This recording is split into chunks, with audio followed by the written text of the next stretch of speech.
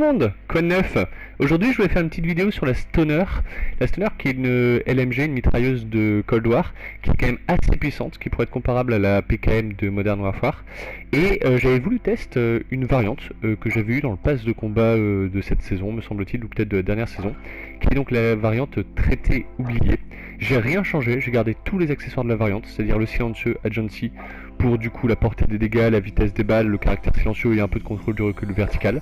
J'ai gardé ce canon qui permettait d'augmenter la portée des dégâts, la poignée agent de terrain pour le contrôle du recul horizontal et vertical, ce viseur qui est bien, la seule chose que j'ai changé c'est le réticule, moi je préfère le petit triangle, le petit chapeau, plutôt que le réticule de base, et du coup euh, le pas de cross pour le temps de transition du sprint au tir qui est euh, diminué, et euh, alors ils mettent que la pression de tir au G est diminuée, je pense que les caractéristiques des options pas de cross Cold War ne sont pas vraiment les mêmes que que Modern Warfare et du coup en fait euh, ça influe pas tellement sur le recul. Alors que sur celle de Modern Warfare quand vous mettez pas de cross euh, vous prenez quand même une, grande, claque dans, ce qui est contre du recul.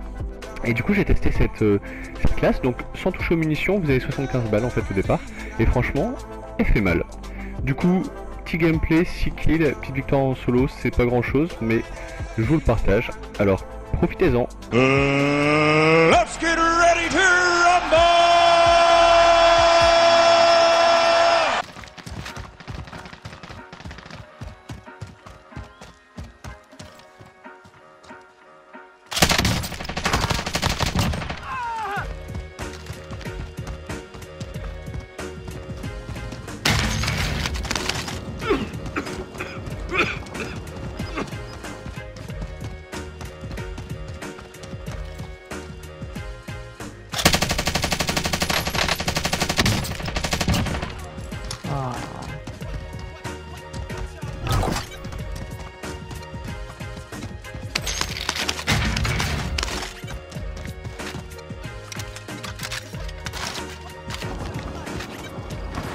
It was at this moment that he knew. He fucked up.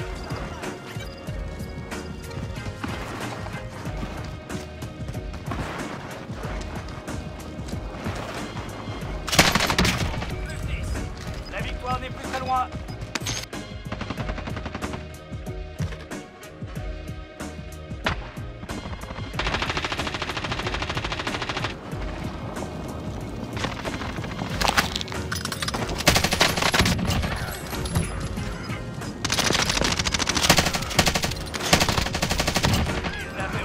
Get.